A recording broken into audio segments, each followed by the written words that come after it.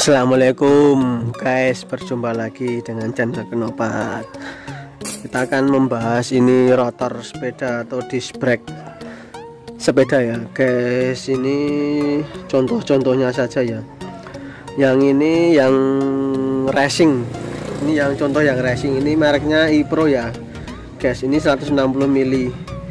Nah ini kondisi baru ya. Yang ini cuma dipakai sebentar terus yang ini kondisi lama guys. Ini yang biasanya itu bawaan sepeda sepeda itu ya. Sepeda lipat MTB dan lain-lain. Ini juga sama. Oke kita cari, cari tahu perbedaannya ya guys. Kenapa kok bisa beda? Oke ini contoh rotornya ya. Untuk mencoba. Kita analisa sedikit dari yang atas dulu dari yang ini ya. Nah, ini ini rotor bawaan sepeda yang biasa yang normal itu. Bedanya dengan ini apa? Nah ini bedanya itu di lubang bautnya ini ya guys. Lubang bautnya ini beda. Ini beda sama yang ini ya. Ini beda. Ini lebih kecil lalu yang ini besar.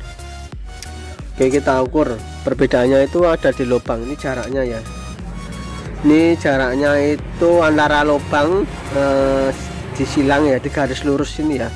Ini 48 mm nah ini untuk lubangnya ini ya garis lurusnya itu diambil dari tengah lubang sama tengah lubang itu 48 mm nah ini juga sama. Ini 48 mm terus yang ini yang ini 44 mm ya guys. Ini ukurannya yang jarak antar lubang baut ya.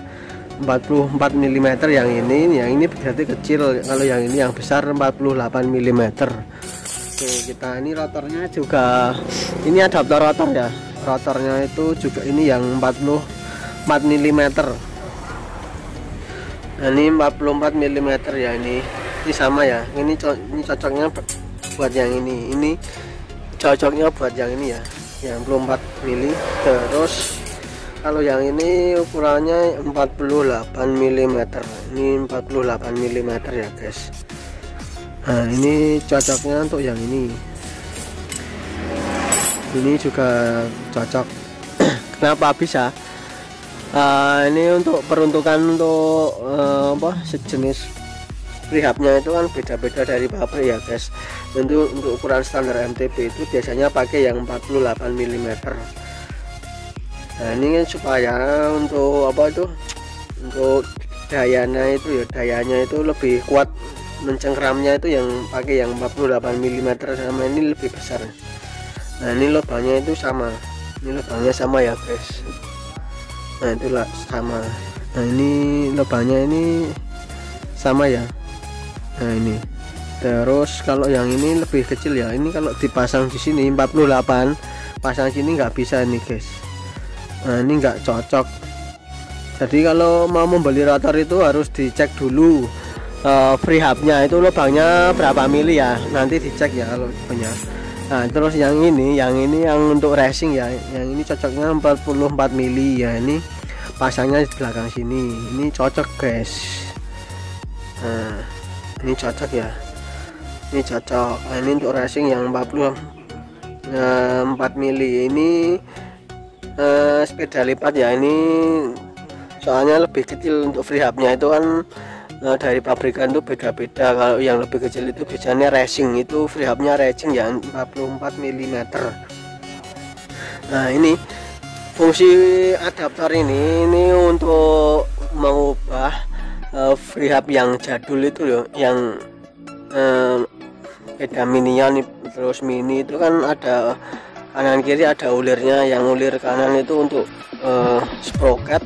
Kalau yang kiri itu ulirnya itu harusnya dulu itu untuk kampas trim tromol nah, terus uh, sekarang diakali terus pakai uh, adapter ini untuk bisa dipasang disc brake atau cakram nah ini macam-macam ya guys. Ini ada yang racing ada yang biasa. Ini kalau mau membeli itu dicek dulu nih lubangnya yang rotor itu berapa. Nanti biar tidak salah pilih ya guys. Soalnya setiap sepeda itu beda-beda pengeluarannya itu untuk, untuk jarak rotornya itu ya. Ini yang 48 mili ada yang 44 mili. Ya ini di perbedaan ya rotor ya. Untuk tebalnya itu rata-rata hampir sama. Nah ini hampir sama sama sekitar berapa ini? 3 milian lah bener nah ini ada yang dua setengah mili ada ini. Ini rotor 48 sama 44 kalau 44 itu, itu biasanya digunakan untuk lipat sama MTB yang model keluaran terbaru kalau yang MTB lama-lama itu pakai yang 48 mili. Nah untuk perkembangan zaman terus diperkecil jadi 44 mili soalnya lihatnya biar lebih ringan saja. Oke terima kasih sudah menonton. Untuk perbedaan rotornya ya guys terima kasih. Jangan lupa subscribe